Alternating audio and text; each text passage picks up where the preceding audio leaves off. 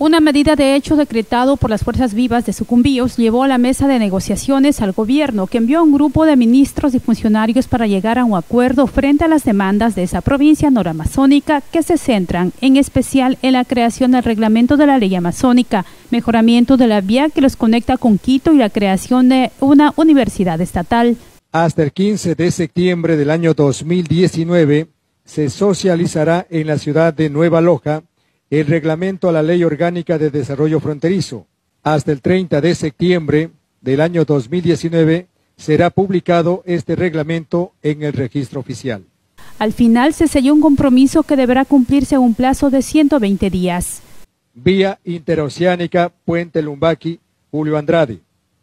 Desde el día de hoy ingresa maquinaria pesada del Ministerio de Transporte para habilitar y dar mantenimiento adecuado a esta vía con un presupuesto designado ya de 10 millones de dólares por la situación de emergencia.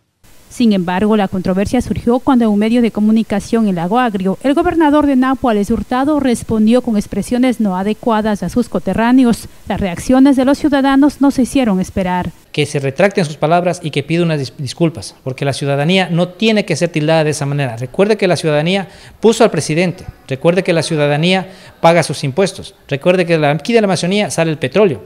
Entre las competencias del Consejo de Planificación consta establecer mecanismos para la habilitación de una oficina de CERCOP en esta provincia de la Amazonía. De esta disposición transitoria décima cuarta de la ley amazónica para que las empresas privadas, públicas y mixtas fijen su domicilio tributario en la provincia de Sucumbíos dentro del plazo de 30 días los plazos están establecidos. El reloj comenzó a correr. Las respuestas gubernamentales son contra el reloj. La medida de hecho de la provincia amazónica está en suspenso hasta evaluar el cumplimiento de los acuerdos vigentes.